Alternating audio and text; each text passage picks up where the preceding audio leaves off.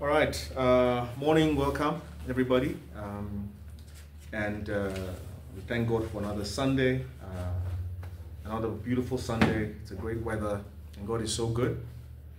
And uh, we're just grateful to God for all His blessings this week, and um, we're thankful to Him for some wonderful praise reports that we received. There have been people that we've been praying for, and we've had in our prayers for some time and uh, God has been so good. They've been released uh, from hospital, and we we are trusting that the healing that the Lord has started, that God will complete. Amen.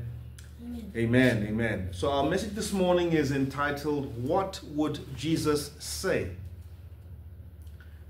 What would Jesus say? Now, there's this very popular wristband that has WWJD on it, which means what will Jesus do? And oftentimes, believers will have that wristband on their hands as a reminder uh, to themselves that no matter the situation they find themselves in, no matter what circumstances they find themselves in, that wristband that has what would Jesus do is almost like a reminder, a refresher, a pointer to say, wherever I am in or wherever I am at, what would Jesus do in this situation? How would Jesus respond in this situation? Um, and the whole idea, I believe, of that of that wristband is to guide our believers and to remind our believers to live lives in a way that would glorify and honor and reflect the character of Jesus. But our message this morning is titled, What Would Jesus Say? And I really think that it has the same motivation behind it. Because the focus of our message this morning is that on the day we stand before Jesus, on this day we stand before God, on the day we have to stand before Him to give an account, what are the words that we would like to hear Him say to us? On the day we all stand before the Lord to give an account, what are the words that we would want to hear Him say to us? Now, there's some important realities that we have to come to terms with. There's some important realities that we have to accept. And the first reality is that eternity is real. Eternity is a very, very, very real thing. Eternity is real, and this life, this world is temporary. But so often we've been fooled into believing that this world will continue forever. And as human beings, we scarcely give any thought at all to eternity. Hardly any thought. We prepare a lot more for the things of this world and the things we want to do in this life, and we give very little thought, oftentimes, to what happens to us when we leave this world. The most important decision. You find that the way human beings live their lives, you will see that they hardly give very little thought very little thought to what happens when we leave this world. And meanwhile, eternity is real. The second reality that we have to come to terms with is that one day all of us will have to stand before God to give an account. I need that to sink in for a second.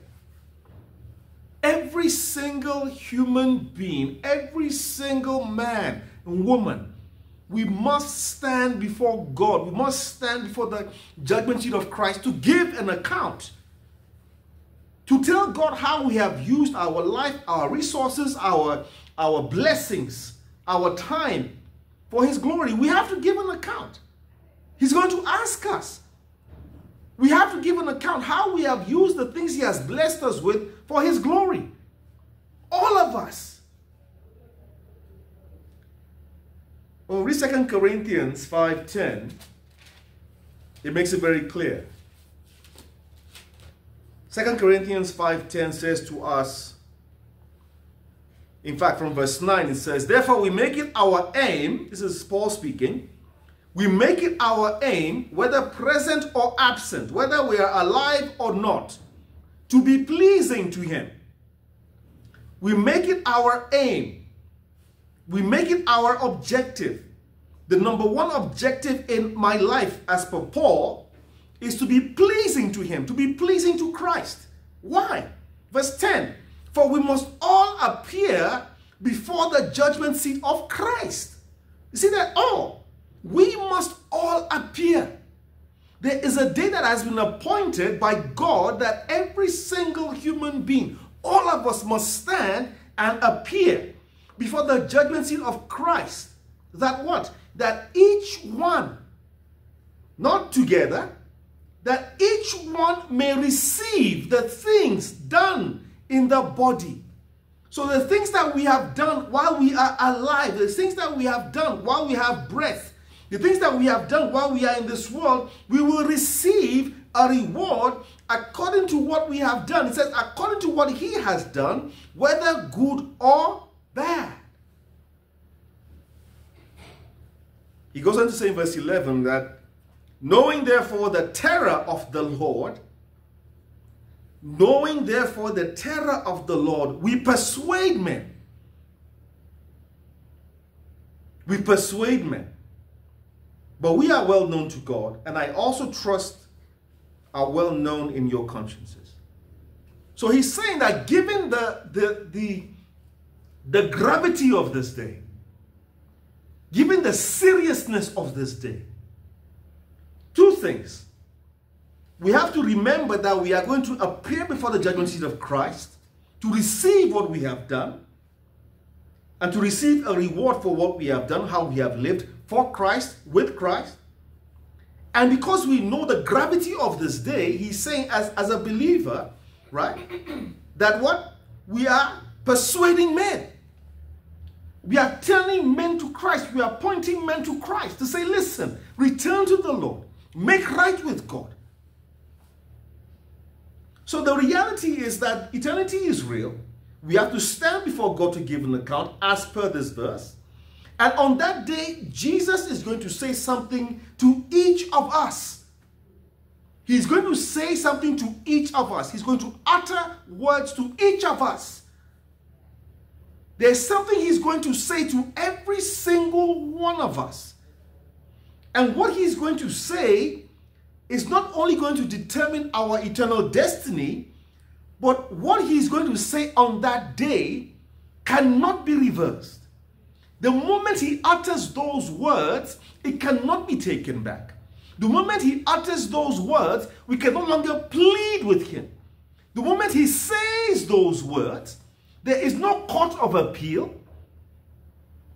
It's final. And the words of Christ on that day when we stand before him will determine our eternal destiny. So our reading for this morning is from Matthew 25, 14 to 29.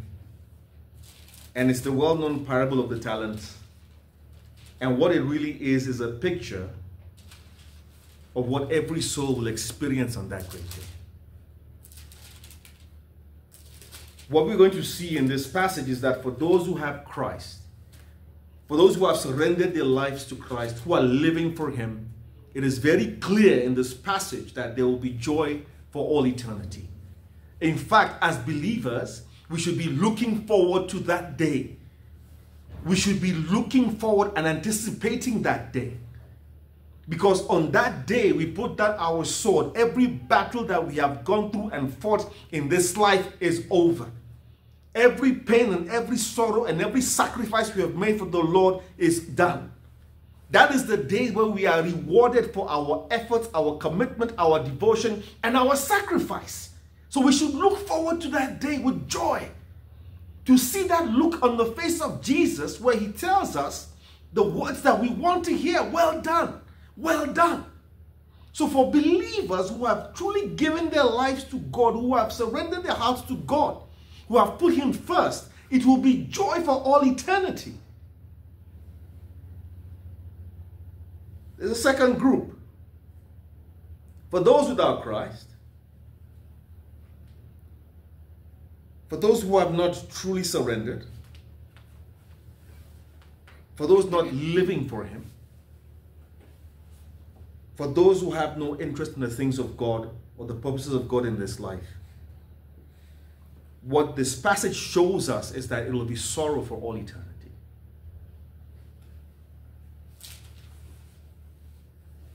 But like I said, as believers, we need to be looking forward to that day with joy. We need to be looking forward to that day with anticipation.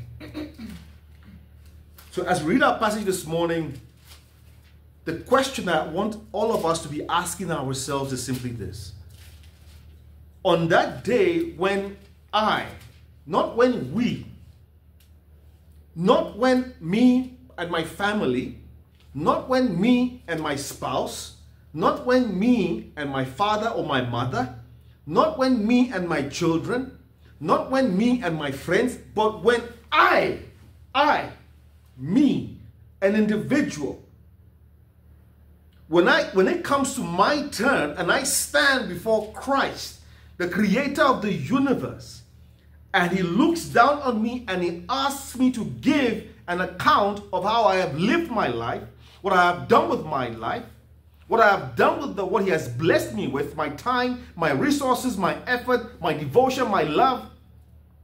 When he asks me and says, give an account of what you have done with your life, the question we have to ask ourselves this morning is simply this What do we want Christ to say to us? What do I want him to say to me? What are the words I want to hear from his mouth as I stand before him?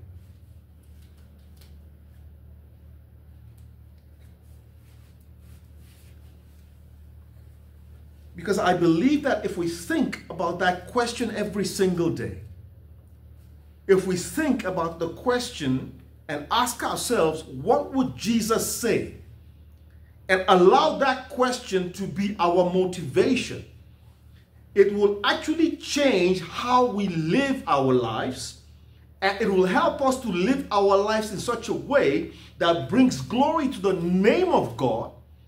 And it will help us to realign ourselves and to live our lives not in the context of this world alone, but in the context of eternity.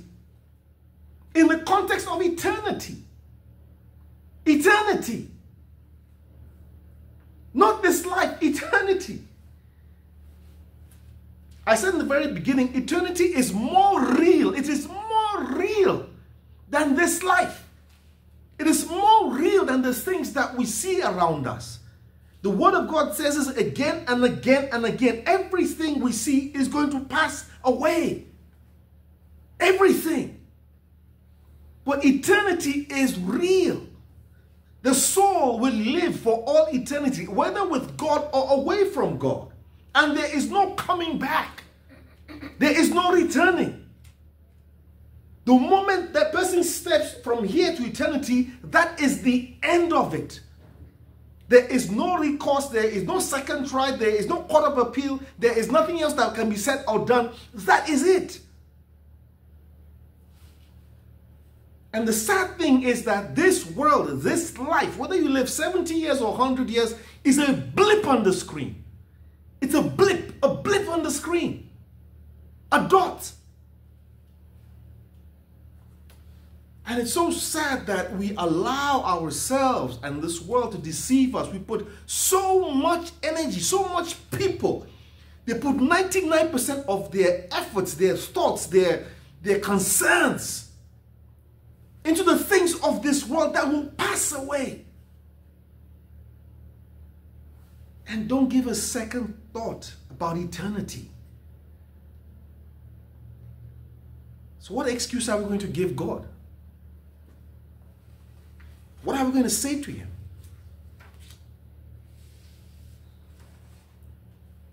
So, as we read the message this morning, the question that I have to ask myself, first and foremost, the question that you have to ask yourself is not if I stand before Christ, it's when I stand before Christ, when I have to give an account when I have to tell him what I did, why I did it.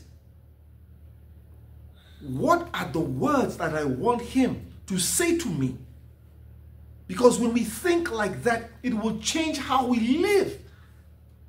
Now, as I say this, I'm also mindful of the fact of what the Bible says. When the word is sown, what happens?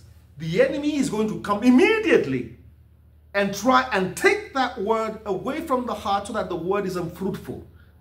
We said that last week. But this morning, I am challenging myself.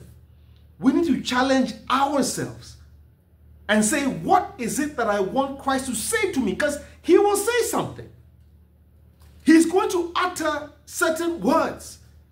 And once those words leave his lips, there is no going back. So let's read our passage in Matthew 25, 14 to 30, and then we'll get into the message. Matthew 25, 14 to 30, the parable of the, of the talents. It says, For the kingdom of heaven, this is Christ speaking, for the kingdom of heaven is like a man traveling to a far country who called his own servants. So mark that.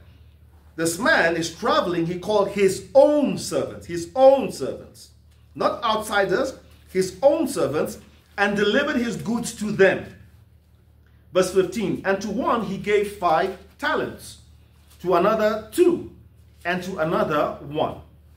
To each according to his own ability and immediately he went on a journey.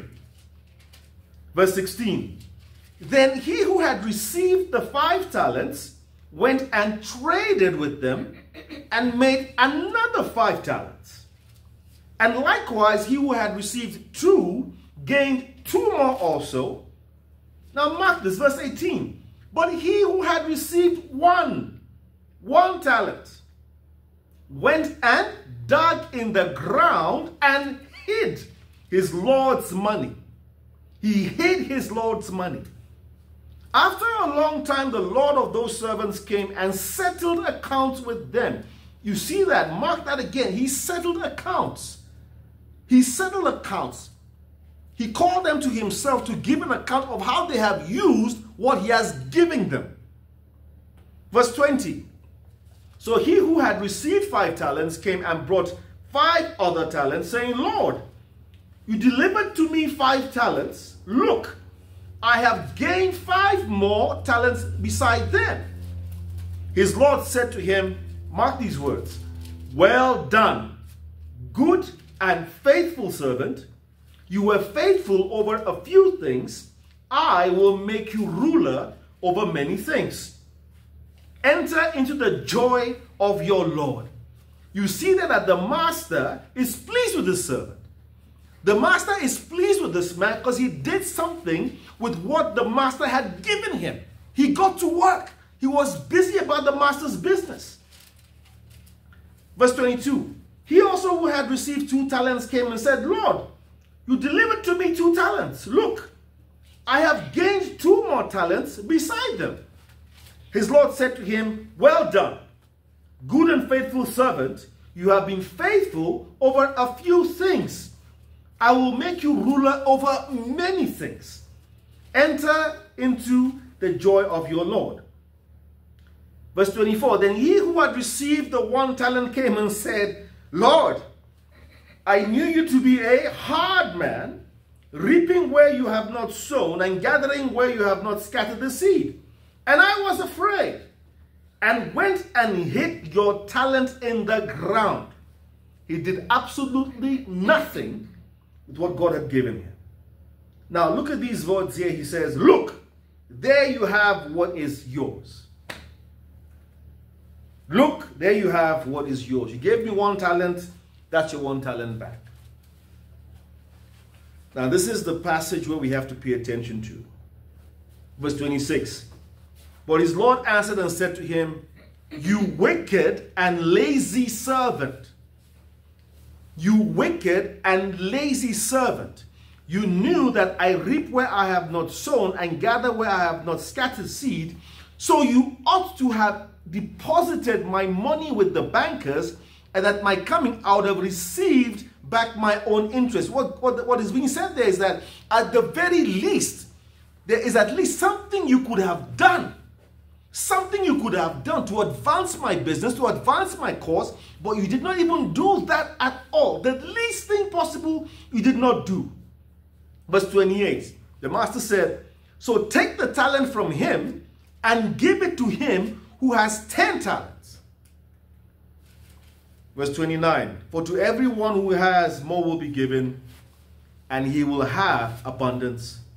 But from him who does not have, even what he has will be taken away.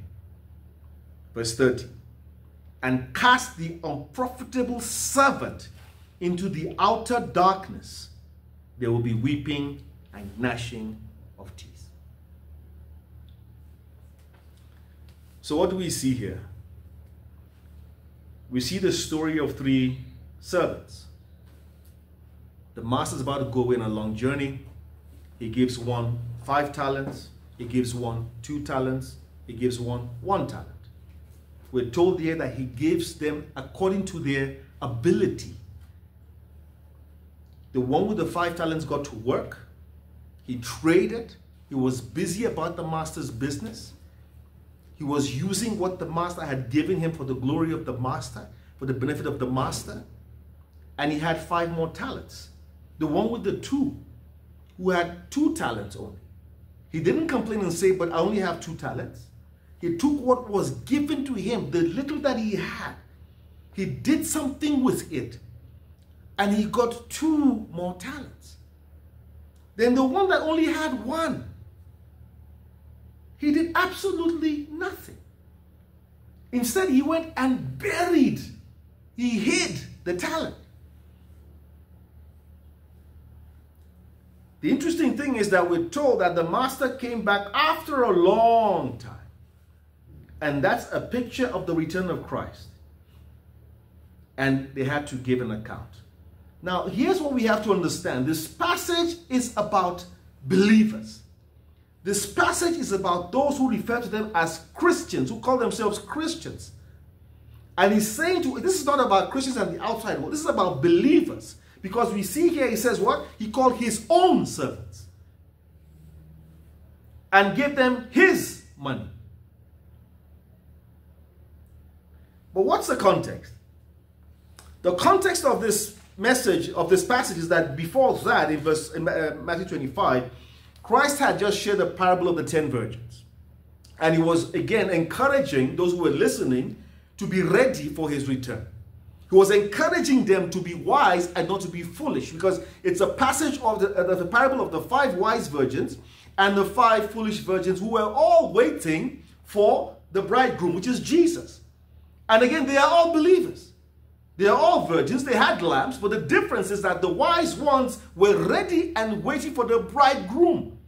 They had oil in their lamps. They were walking by the power of the Spirit of God. They had a zeal and a fire for the things of God. So when the bridegroom arrived, they were ready and they were waiting. This is not believers and the world. This is people who call themselves Christians. But the foolish ones had no oil. They had no oil. So when the cry came out that the bridegroom was coming, they asked the wise ones to give them oil. And the wise ones said, Look, if we give you oil, there'll be nothing left for us. So the foolish virgins had to go and now buy oil. But we were too late. Because when the bridegroom returned, those who were ready and waiting for him, the wise virgins, were told that they went into the wedding feast with the bridegroom. By the time the foolish virgins arrived, we're told that the door was shut. And they cried and they begged to be let in. And verse 13 of Matthew 25 said, in fact, verse 11, it reads and says, Afterwards, the other virgins came also saying, Lord, Lord, open for us. Open to us. But he answered and said, Assuredly I say to you, I do not know you. Verse 13, Christ says, Watch therefore, for you know neither the day nor the hour in which the Son of Man is coming. When we go back to verse 10, we see here that the foolish virgins are going to buy the oil. Verse 10 it says, And while they were and while they went to buy, the bridegroom came. It was too late, they were not ready. So they went to go get oil for their lamps. But while they went off to go try and get ready, it was too late. The bridegroom came. And those who were ready went in with him to the wedding, and the door was shut. The door was shut.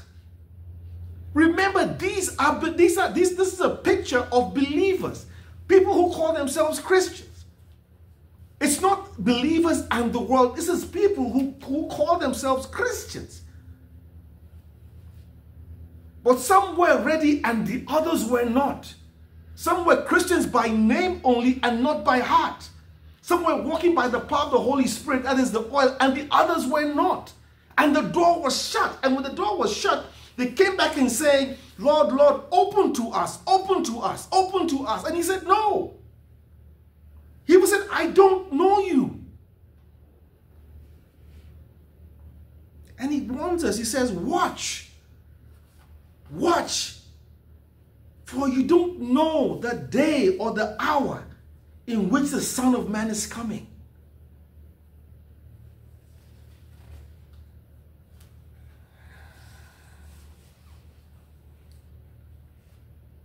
So,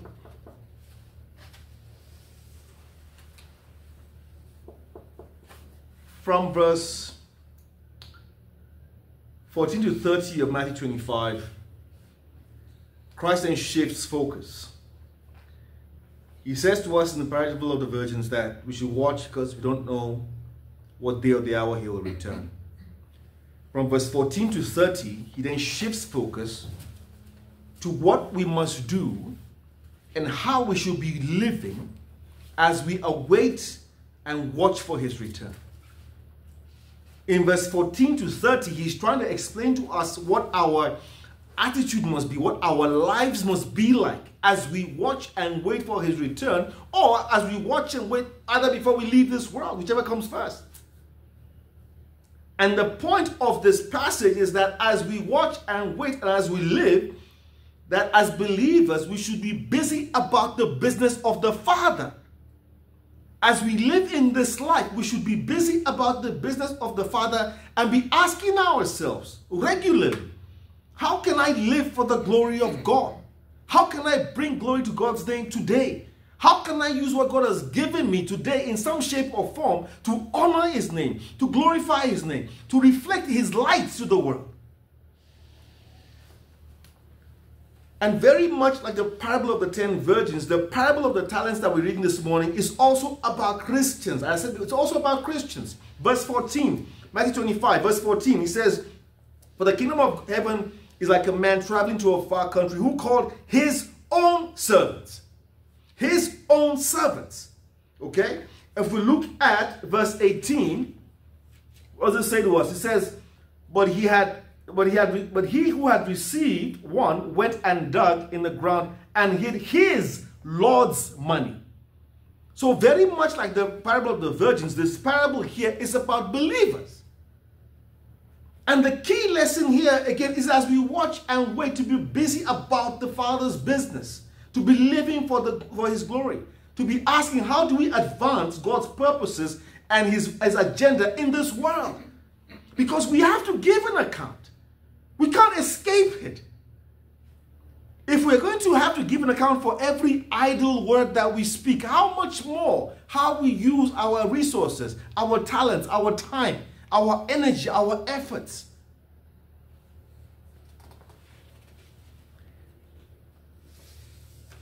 One of the things that we see in this parable of the talents is that God has given to all of us different gifts, different resources, different talents.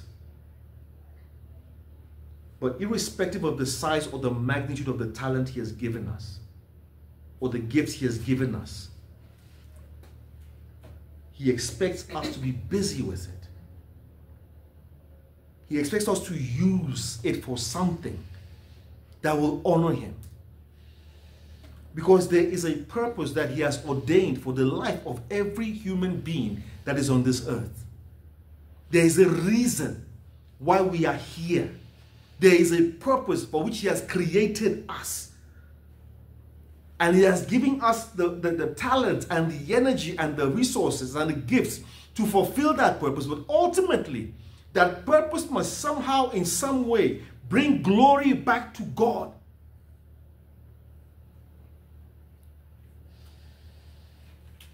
Let's turn to Colossians 3:23. Colossians 3:23.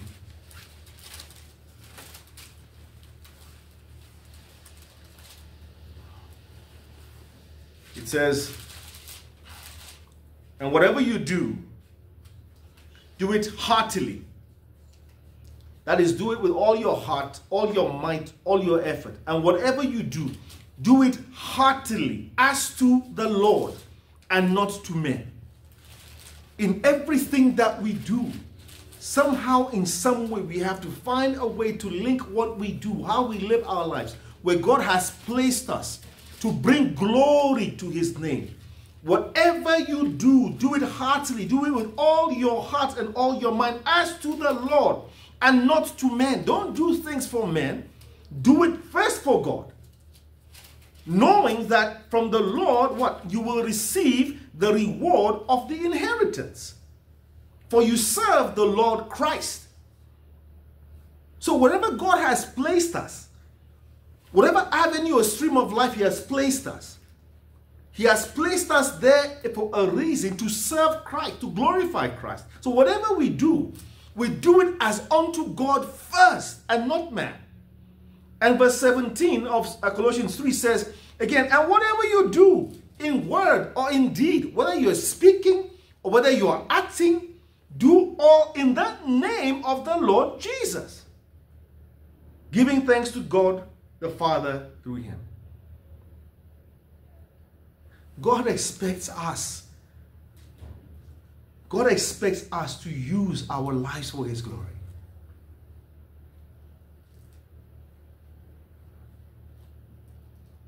He expects us to be asking ourselves constantly, what can I do today to bring glory to God's name? What can I do today to reflect my love for God to others? How can I live today to show others the goodness of God and the love of God? Let's turn to Matthew 5 16. Matthew 5 16. Similar thing. Matthew 5 16 where it says, Let your light so shine before men. Let your light so shine before men.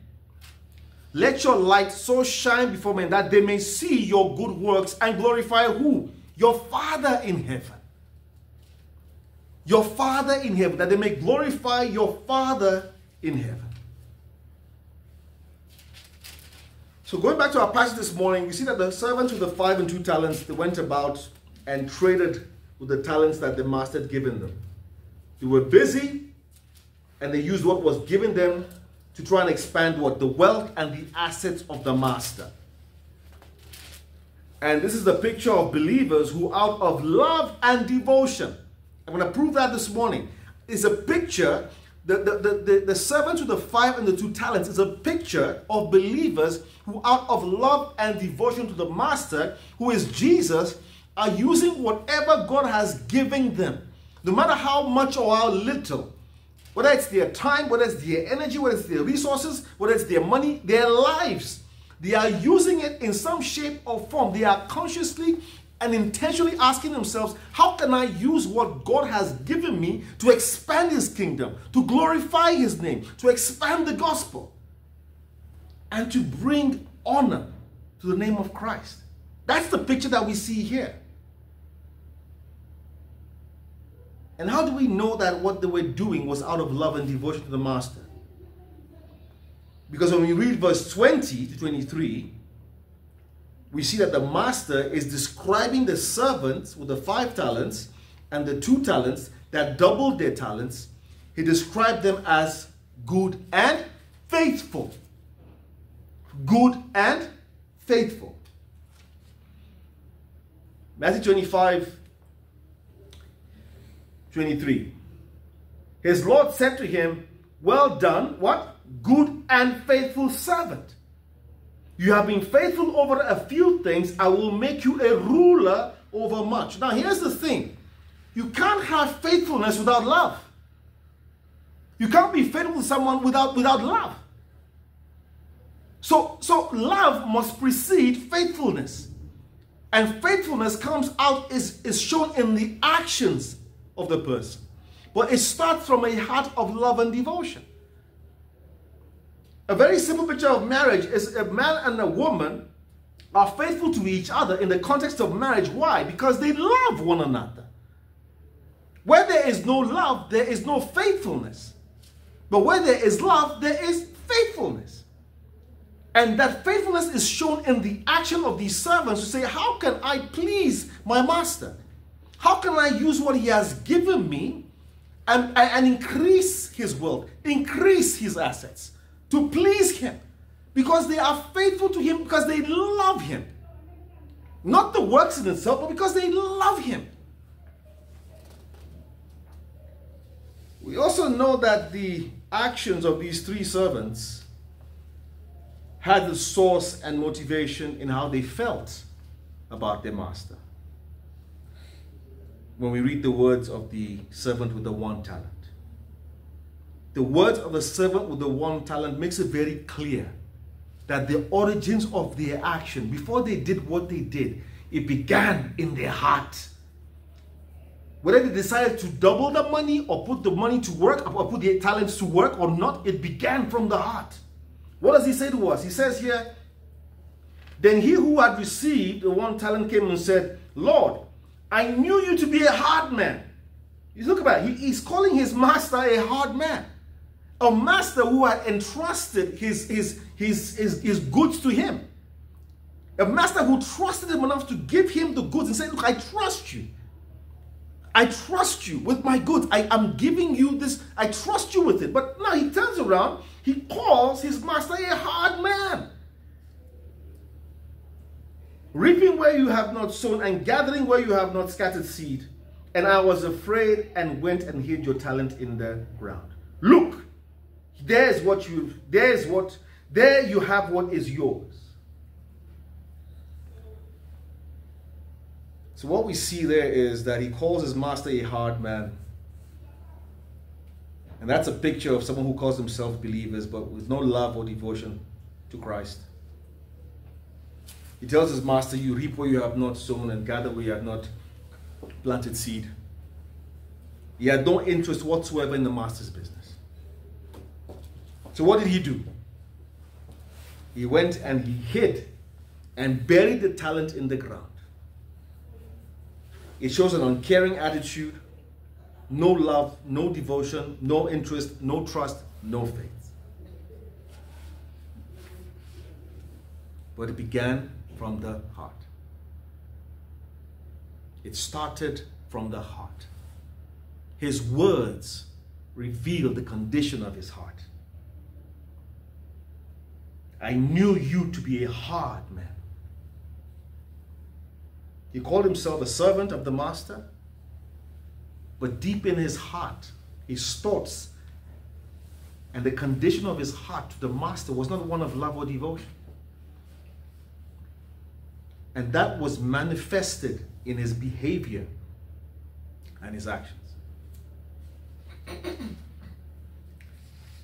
But here's the question we have to ask ourselves and that question is that while the other two servants were busy about the master's business, while they were trying to find ways to increase their talents, while they were trying to find ways to please their master, right? The question that we have to ask ourselves is that what was this lazy and wicked servant busy doing? So we had the they had a, you had the servant with the two talents running around trying to increase the talents to please his master.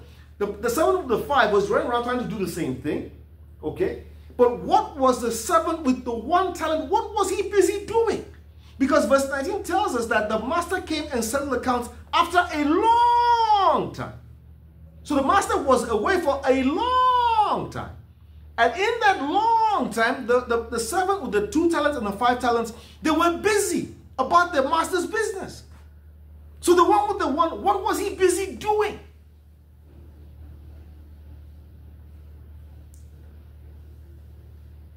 Was probably busy going about his own business, going about his own life. He had no interest, absolutely no interest in the things of the master. He was so focused on his own life, his own things, that he did not even consider doing the least possible thing, the least possible thing to increase the wealth of the master. Verse 26. The master says to him, You wicked and lazy servant. You knew that I reap where I have not sown and gather where I have not scattered seed. Verse 27. So you ought to have deposited my money with the bankers at the very least. The least you could have done was take my money, even if you don't, just take my money and put my money with the bankers. That's, that, that's the picture. The least you could have done. And at my coming, I would have received back my own with interest. God expects us to be busy about his business. He expects us to be busy about his agenda. He expects us to be mindful about the question what can we do to advance the purposes of God in this world, in this life?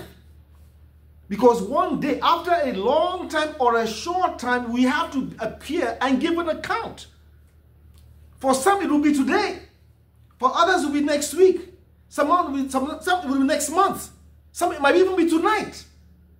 Where their life is going to end and they have to give an account.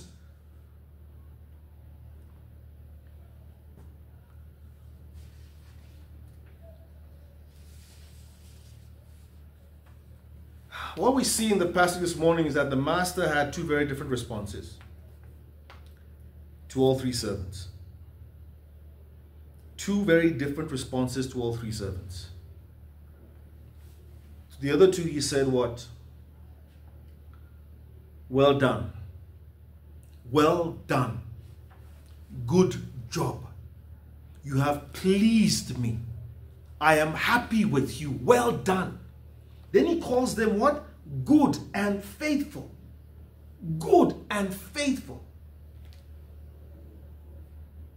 Then he says to them, Enter into the joy of your Lord. That's what he says to them. Those who were busy about the work of the Father because they loved him, not, not the work in itself, but because they loved him. They, uh, they realize what God has done for them. So they are busy about the business of the Father. It doesn't mean that they are about preaching every day, but wherever God has placed them, they are asking themselves, how can I use where God has placed me to advance His purpose? How can I use what God has given me to advance His agenda? So they are busy in some shape or form. Everything they do in their lives revolves around Christ and pleasing Christ in some shape or form. So Lord sees that and says, well done.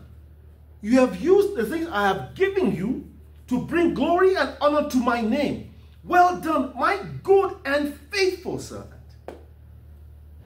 Enter into the joy of your Lord. Then you have the other one who did nothing. And the response of the same master is very different. The response of the master is very different. You wicked and lazy servant. Verse 28, he says, Take the talent from him and give it to him who has 10 talents. Verse 29, for, for to everyone who has more will be given, and he who has and will have in abundance, but from him who does not have, even what he has will be taken away. And cast the unprofitable servant into the outer darkness. There will be weeping and gnashing of teeth. So what the master is saying here, his responses are based on what the servants did with what the master had given them.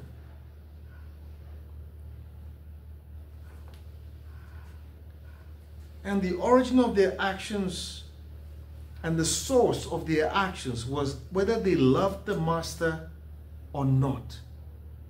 It began from the heart. It began from the heart. It begins with the heart. When we read verse 29 to 30 as we start to round up, what we see is that it really focuses our attention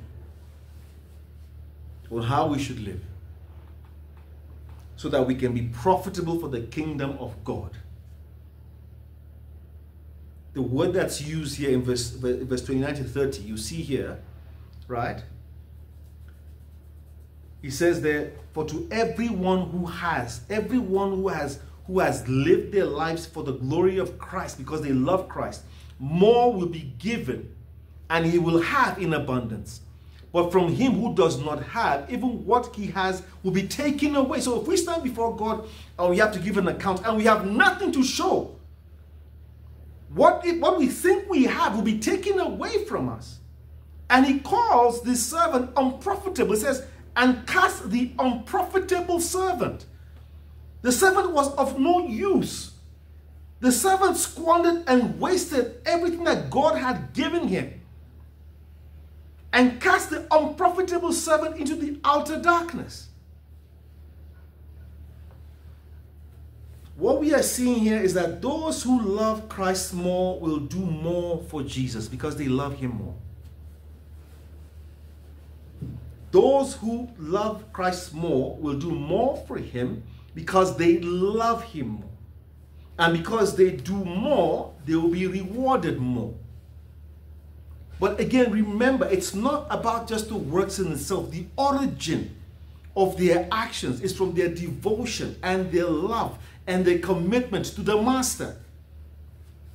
If they had, if they went and doubled all the all the talents and did not love the master, it is pointless. If they do all the good works without the love for the master, it is pointless. The works had to stem from the love for the master and faith for the master. So all the things that we do must originate out of a love for Christ and faith in him. And faith in him. While it's very clear from this passage that those who love him less or not at all will do less and do nothing at all.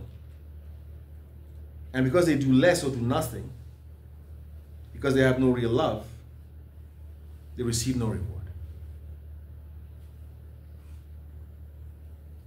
Not only do they receive no reward, but they are thrown into the outer darkness where unrepented sinners and those who defy God are thrown. Why? Why would, why would the master do something so serious? Why would he cast his servant out into the outer darkness?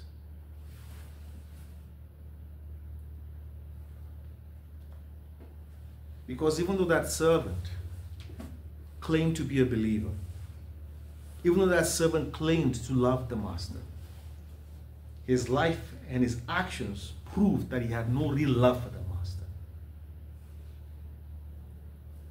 And the danger and why Christ shares this parable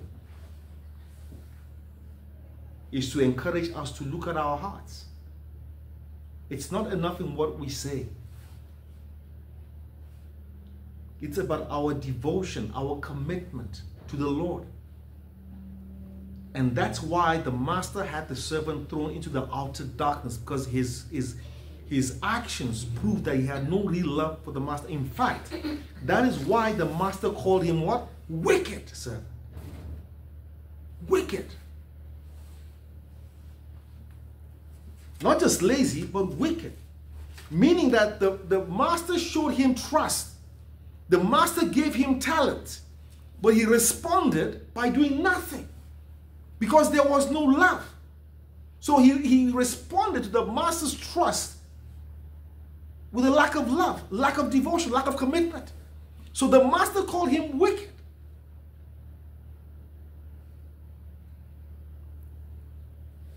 But the master called the other servants good and faithful. Good and faithful. Meaning that their lives and their actions, through what they did, it reflected the character of Christ, the goodness of Christ, the righteousness of Christ. And he called them faithful because their lives and their actions showed faith in Christ and faithfulness to Christ. That's why he called them good and faithful. Because they loved the Lord, they allowed the Spirit of God to do the work in their hearts, in their lives, and therefore their lives reflected the character of God, the goodness of God, and the righteousness of God, not their own. And he called them faithful because they had they showed faith, that they were demonstrating faith in Christ, faith in God, and faithfulness to God. It was their faithfulness to God because of their love to God that allowed them to do what they did, and they were rewarded for it. But it's only possible. It's only possible to be good and faithful if Jesus is our first love. That's the only way. It's not about our goodness or our works or our faithfulness. It's only possible to be good and faithful in the eyes of God if Jesus is our first love.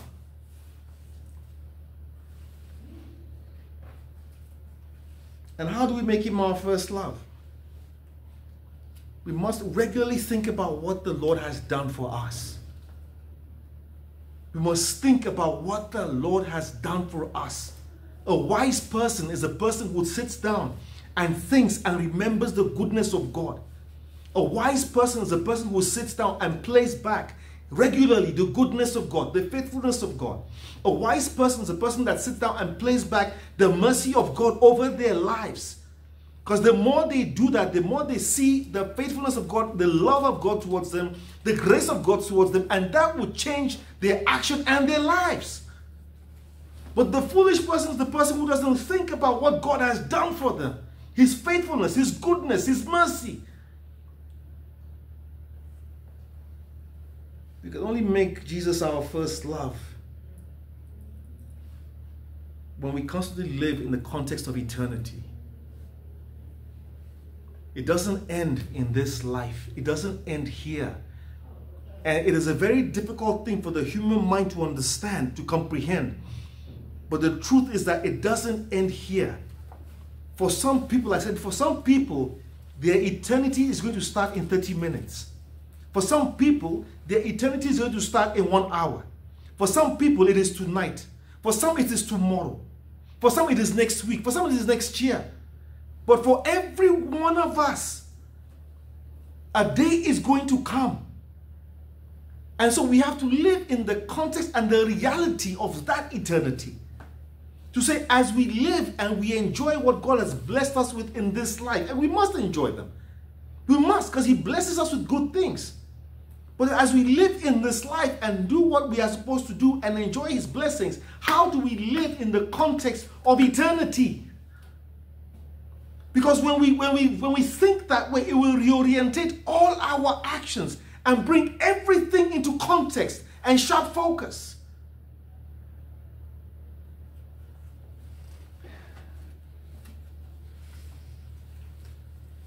But here's the truth as I close. The truth is that all of us, every single one of us, have at some point been like the good and faithful servant. You've served the Lord with joy. We've been zealous. We've been about the Father's business. The other truth is that all of us, at certain times as well, have also been like the wicked and lazy servant. All of us, without exception. Every single one of us. And we are guilty. Why? Because very often God gives us so much. He blesses us so much. He's so faithful to us. He's shown us the ultimate display of His love through His Son, Jesus, upon the cross. But how do we sometimes respond? Sometimes we don't respond to God with the same love. We don't respond to Him back with the same devotion. we're not faithful to Him, even though He has been faithful to us. And so the interest for the things of God, the interest for His agenda and His purpose takes second place in our lives. All of us.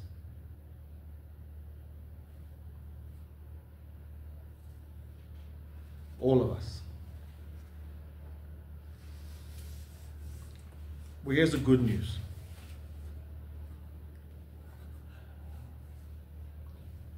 Christ is our high priest, and he intercedes for us. And this morning, what the word is doing is that God is calling each and every one of us back. He is calling us back. He is asking us to recommit our devotion to Him. The Lord is asking us to recommit our devotion to Him. He's asking us to rededicate, to rekindle our love for Him. He is asking us to show greater interest and zeal for the purposes of God in this life because we will have to give an account. We have to give an account. God is calling us back this morning not to condemn us. God is not calling us to condemn us. Christ is sharing these parables about servants. He's trying to make us understand. He's trying to make us make sure that we know where we stand so that we don't become deceived. So he's not telling us this morning these things to condemn us. He's telling us to guide us. To guide us to help us that we might examine our own hearts so that we will end up like the good and faithful servant. God's intention is that everyone who calls themselves a believer will end up like the good and faithful servant and not like the wicked servant. That's his intention. And that's why we have these parables in scripture that we can shine the light of this word onto our own hearts and say, Lord, where am I lacking? Father, where I have not shown love, Lord, have mercy on me. Lord, where I have been weak in my love, Lord, give me zeal. Lord, where I have been unfaithful, Father, make me faithful. Where I have had no interest, Father, create a zeal and an interest in me. Father, where I have been unprofitable, Lord, make me profitable. Because there will either be profitable servants or unprofitable servants. There is no middle ground. And the danger is that we sort of live life thinking there is a middle ground. There is no middle ground. There is none. And God shares this with us because He loves us. In fact, when we read Revelations 3 19, what does Christ say? Lord, the Lord warns, He chastises those that He loves. Not condemnation. He tells us these things out of love so that we can be ready and be prepared and be watching. Because there will be no excuse on that day. None. No excuse. Revelations 3:19. Revelation, sorry, Revelation 3:19. When Christ is addressing the the lukewarm church, in Laodicea, a church that had backslidden, a church that was lukewarm, a church that had more interest in the things of this life than the things of God. Even after he had scolded them, he called them back to himself. He called them back to himself. He didn't, he didn't cast them away. That's the compassion of Jesus. He didn't cast them away fact, let's read it from verse 14. And to the angel of the church of the Laodiceans write, These things say the Amen and the Amen, the faithful and the true witness, that is Christ, the beginning of the creation of God. Verse 15, I know your works, that you are neither cold nor hot. I wish you could, I wish you were cold or hot.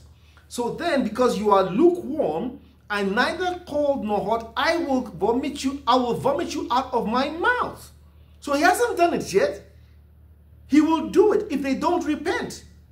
But because you say, I am rich, I become wealthy, and have no need of nothing, and do not know that you are wretched, miserable, poor, blind, and naked, I counsel you. So he's, he's, he's criticized them, he's chastised them, right? He's rebuked them. That's actually the word. He has rebuked them.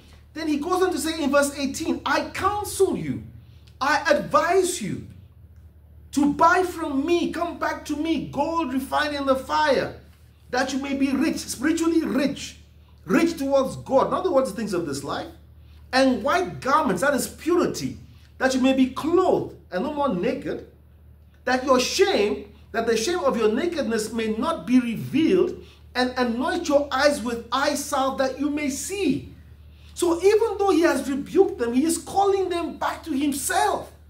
He's not throwing them away, he's not casting them away. He's calling them back to himself.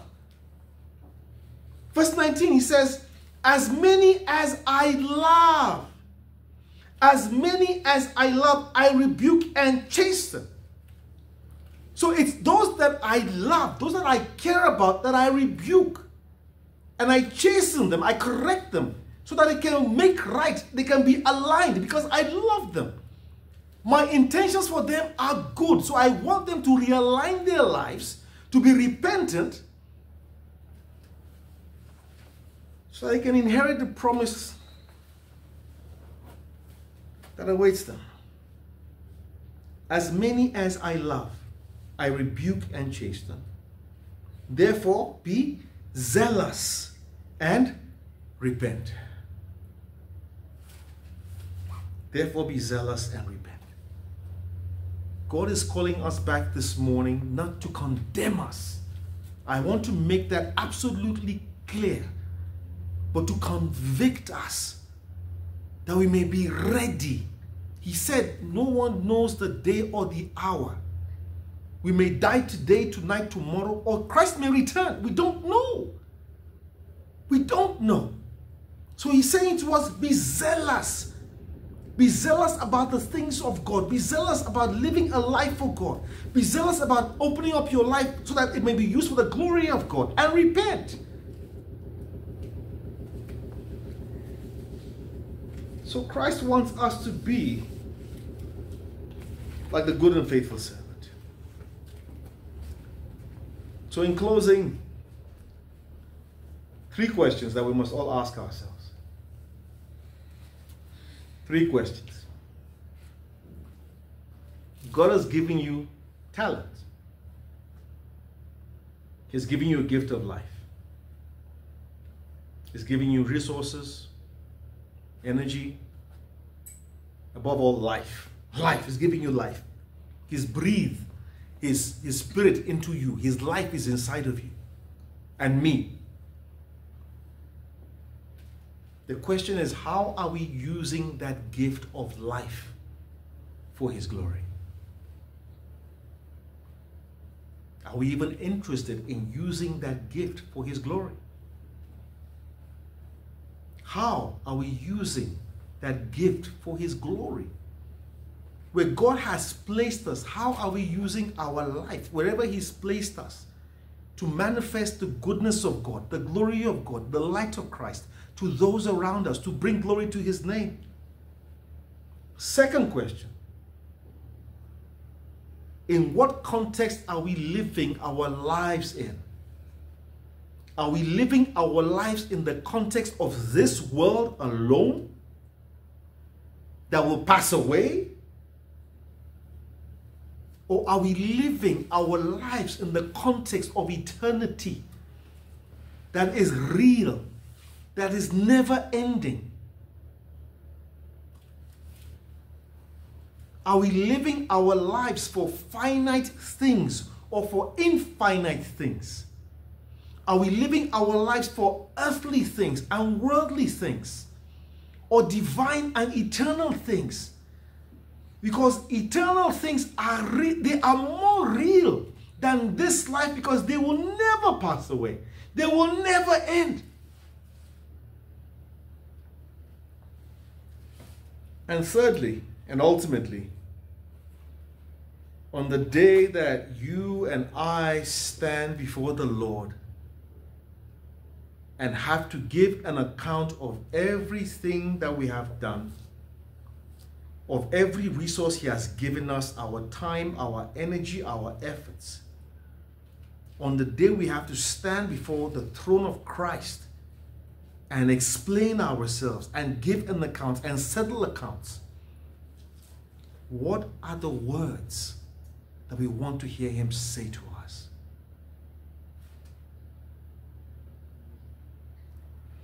I believe, in fact, I know that those words of Christ are the most important words that any soul will ever hear. Forget whatever you might have heard in your life. When we stand before Jesus and He utters those words, those words will be the most important words that any soul has ever heard in their life. Because once those words are uttered, it will determine the eternal destiny of that soul.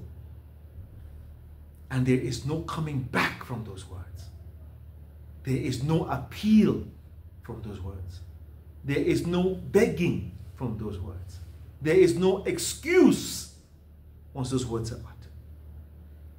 So this morning, Christ urges us to come back to be zealous because his intentions for us are good and not for evil. Because he loves us with an undying love. So we have to ask ourselves what are the words I want to hear from Jesus when I stand before him? Let's pray.